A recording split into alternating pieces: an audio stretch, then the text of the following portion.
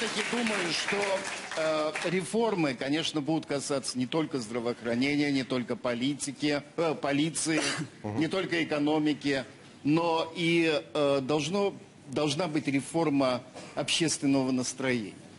И в том числе общественной жизни, и в том числе отношения к журналистике.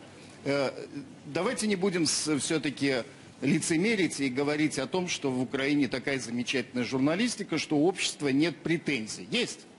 Есть. Есть. нет, есть. Поэтому это нужно регулировать.